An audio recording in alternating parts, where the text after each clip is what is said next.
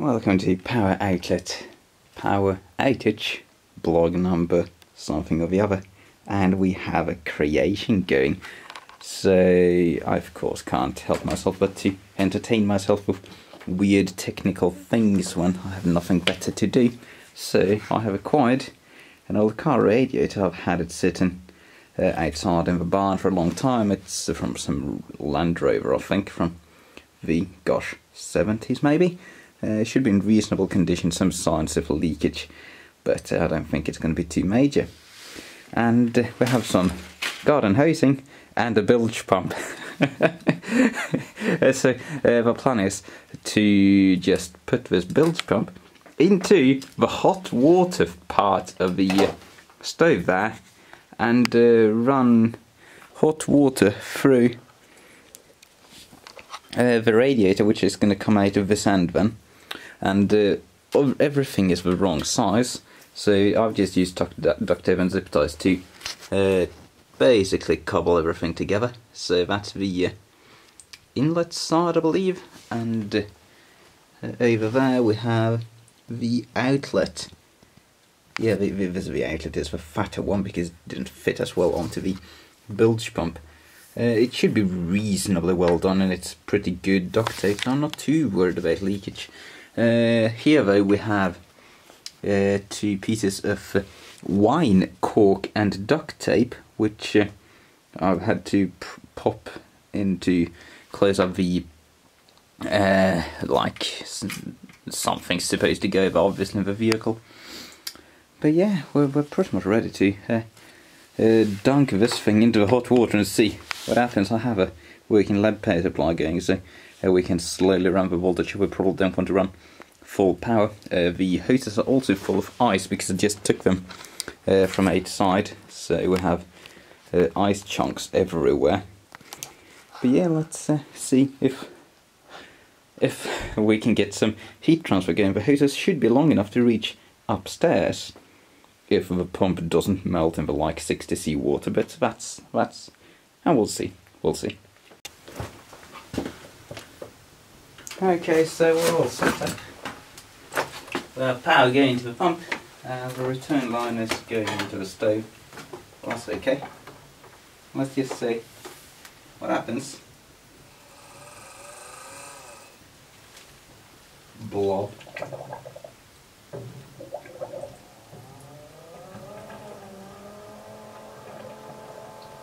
Okay, that's water going. The line start heating up. Or the 8 line anyway. It's turning quite soft. There's a bunch of eyes in here, so I'm expecting it to take a while for it to actually reach the radiator. This garden hose is getting re really soft doing this. Pump's just drawing about 10 watts, so that's not too bad. Line is softening up all over.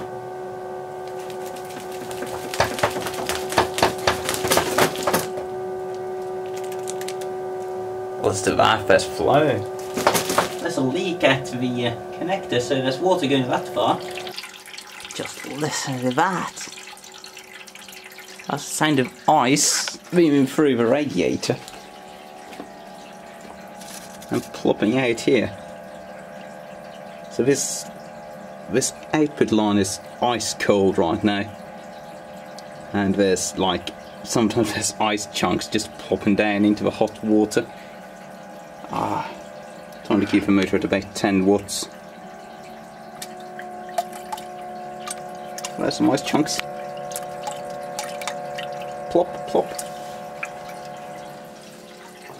Still need to get this leak source a bit better but uh, more duct tape, more zip ties. I think we'll have it. It's warming up. It is warming up. Ha! That's amazing.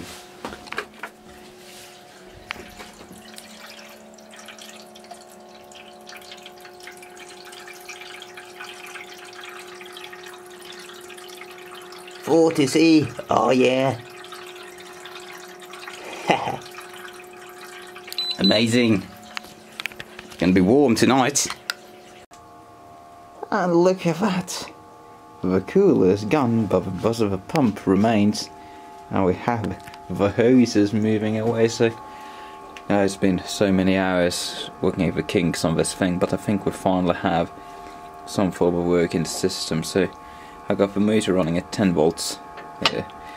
Had a bit of an issue before where it wouldn't want to pump the water all the way up the stairs, but uh, it seems to have fixed itself with some brutal forcing, it up to 20 volts just to just force a bit of flow to start, and after that it's been fine. So let's follow the money, or rather, our hose as it looks like. We have a rogue, a rogue garden worker. What's a proper term for that? Janitor. Rogue janitor running around. And there we have it. Now I forgot the IR gun downstairs, but uh, there is a warm feel to this. Uh, it's certainly uh, adding a lot of heat to the room. So when I start, when when I first put this here, uh, we were at 10.7 C. That was a couple of hours ago. Now we're at 11.3. So we are having an effect on heat in the house. Well, this room, but that's fine because that's right underneath my bedroom. So I'll just have to keep working the fire for another while and then maybe I'll be somewhat safe. Curiously the leaks seem to have cured themselves. We don't seem to have any leakage going on anymore. Uh, save for the dodgy radiator gap here that's leaking around the gasket because, well, there is no gasket. Uh, but yeah, all this stuff dry as a bone. Surprisingly, I have the uh, collection vessels underneath anyway, just in case. So uh, when I started I thought I'd put the intake at the bottom and the uh, outlet at the top, but I'd actually accidentally done it the, the other way around.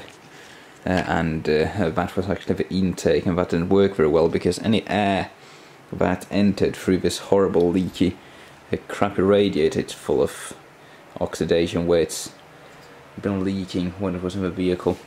Uh, all of that air just got trapped in here, the water level would go down and down since uh, the pump is so weak there's more pull on the outlet than push on the inlet almost. Uh, but yeah, the pump couldn't keep up with just keeping this pressurized. It was at negative pressure it seems. It was sucking in air rather than leaking out water.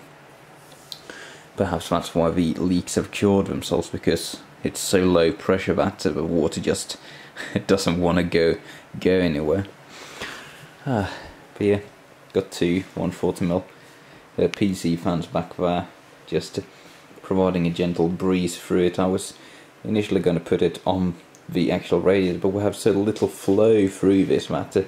Those tiny fans actually overpower the whole thing, uh, and we get a bit more efficiency by just having a breeze going to the entire thing.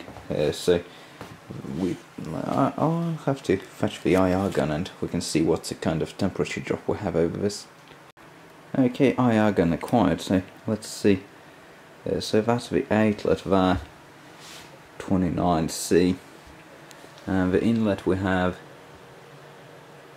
20 what? What have I done wrong? Let's just measure that. It's aluminium, so it's, it is paint away, so it should measure reasonably well. 27 on that side. And 30 on that side, so we have 3 degrees of drop. Almost 31 going there.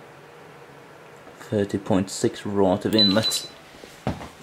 And right of the outlet we have 27.4 so not super high temps uh, is due to the low like the thermal capacity of the stove or the thermal capacity of a pump are not very high but uh, that's still uh, about 20 C over ambient so it's going to make a difference I, I,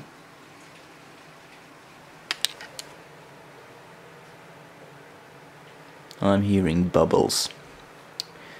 But yeah, since the outlet is on this side now, it's uh, not going to be as susceptible to bubbles. I have a bit of an issue where bubbles coming out of the outlet uh, get taken back up by the pump and go back around a few times. It's uh, the tank is a bit difficult to really get working properly in that regard. But yeah, for like a couple hours emergency build, I'm I'm I'm quite happy with this, especially since I'm not feeling quite on top of the world. I have a cold, and having a cold in the cold is not where you want to be.